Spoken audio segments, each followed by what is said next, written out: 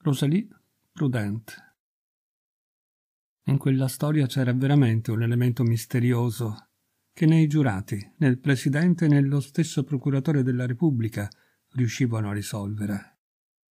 La giovane Prudent, di nome Rosalie, domestica tutto fare in casa dei coniugi Varambeau di Nantes, rimasta gravida all'insaputa dei padroni, aveva partorito una notte nella sua soffitta, poi aveva ucciso e sotterrato il neonato in giardino Sembrava la solita vicenda di tutti gli infanticidi compiuti dalle donne di servizio, ma rimaneva un fatto inspiegabile.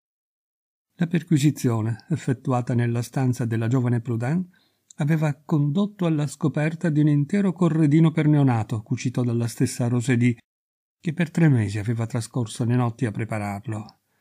Un droghiere, dal quale aveva comprato le candele per quel lungo lavoro e che lei aveva pagato di tasca sua era venuto a far testimonianza.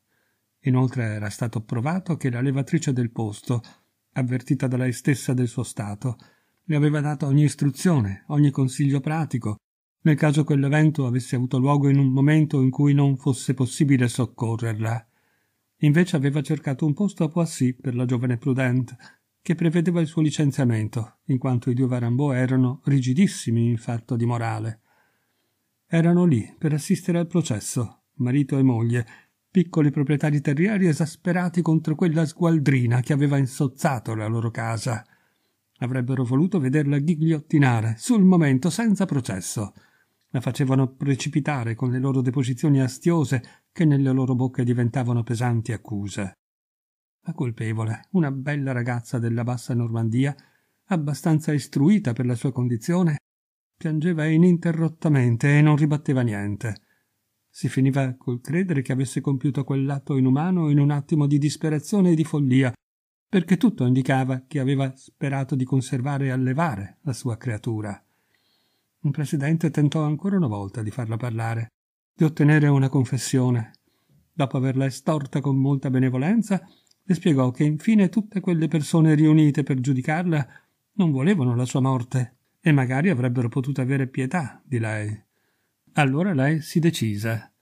Il presidente le aveva chiesto Sentiamo, diteci innanzitutto chi è il padre della creatura. Sino ad allora lei lo aveva taciuto con ostinazione.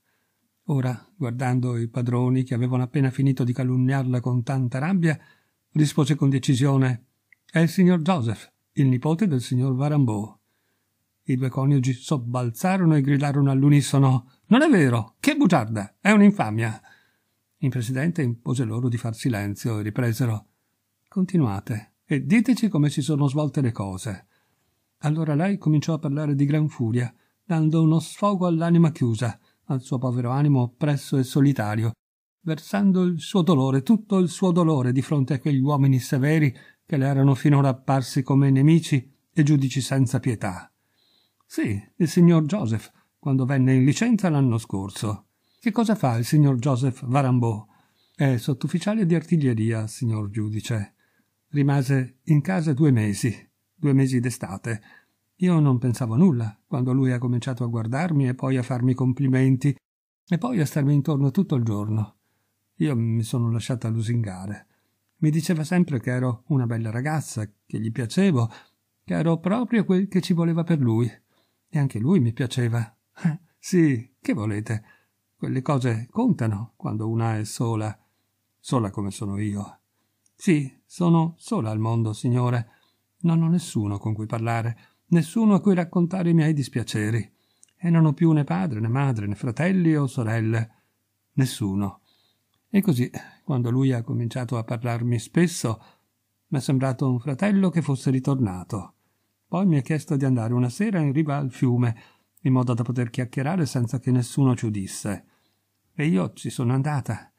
Non so quel che è successo dopo. Mi stringeva alla vita, io non volevo proprio. non volevo. Non ho potuto resistere. Avevo una gran voglia di piangere, tanto l'aria era mite. C'era un bel chiaro di luna. Non ho potuto, no, ve lo giuro.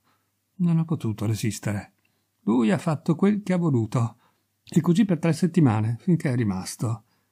Io l'avrei seguito in qualsiasi parte del mondo, ma lui se n'è andato. Non lo sapevo io d'essere rimasta incinta. soltanto il mese dopo. La ragazza scoppiò a piangere così forte che si dovette aspettare che si fosse ripresa. Poi, col tono d'un prete durante la confessione, il presidente ricominciò. Continuate, figliuola. E lei raccontò ancora. Quando mi resi conto d'essere gravida, andai dalla signora Boudin, la levatrice, che è qui e può dirlo. Le domandai come avrei dovuto regolarmi se non avessi potuto approfittare del suo aiuto. Poi un po' per notte ho preparato il corredino, lavorando sino a luna. Ho cominciato a cercare un altro posto, in quanto sapevo bene che mi avrebbero licenziata, ma volevo restare in quella casa fino all'ultimo, per risparmiare quanto potevo, dato che non ho niente e che il piccino mi sarebbe costato. Dunque, non volevate ucciderlo? Oh no, certo che no, signor giudice. E allora perché l'avete ucciso? È andata così, signore. Tutto è avvenuto prima del previsto. Le doglie m'hanno preso in cucina mentre finivo di lavare i piatti. I padroni già dormivano. Salgo le scale a fatica, aggrappandomi alla ringhiera. Mi corico per terra sul pavimento per non sporcare il letto. C'è voluta un'ora, o forse due o tre.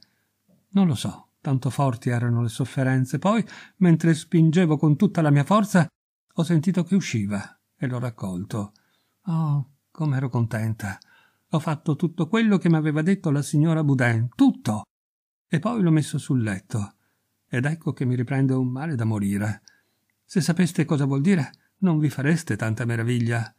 Sono caduta in ginocchio, poi supina sul pavimento, da capo i dolori. Un'altra ora, forse, forse due, così, sola sola, e poi un altro, un altro piccino, Due, sì, proprio due. L'ho preso come il primo e l'ho messo sul letto, fianco a fianco. Due, due piccini. Era possibile? Ditelo. Uno sì, privandomi di tutto, ma due. Allora ho perso la testa. Che ne so, io, cosa ho fatto?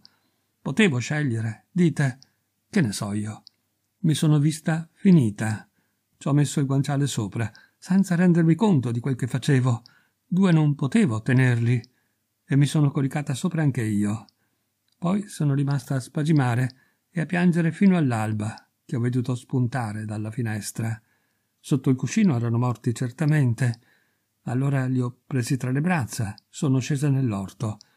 Lì c'era la vanga del giardiniere e li ho sepolti sottoterra, quanto più profondo ho potuto, uno qui, l'altro là, non insieme perché non parlassero della loro mamma, se è vero che dopo parlano i morticini.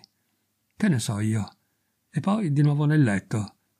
Sono stata tanto male che non ho potuto alzarmi e hanno chiamato il medico. Lui ha capito subito.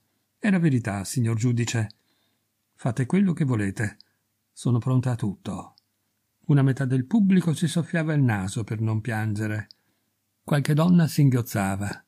Il presidente domandò: E l'altro? Dove lo avete sepolto? E lei? Quale dei due avete trovato? Ma quello. quello che era nell'aiola dei carciofi. L'altro l'ho sepolto tra le fragole, vicino al pozzo. E riprese a piangere, così dirottamente da commuovere tutti i cuori. Rosalie Prudin fu assolta.